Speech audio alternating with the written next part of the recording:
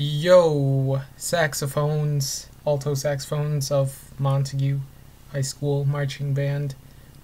Originally, I had the sectional be at the Book Nook at 3 o'clock. Tomorrow, Sunday, uh, 528, 2017, changing it because Book Nook is closed at 1 o'clock. So we're gonna go to the, we're gonna go to Twisters. So be there if you can. Twisters, 3 o'clock. Sunday. And it'll probably be like less than an hour, so.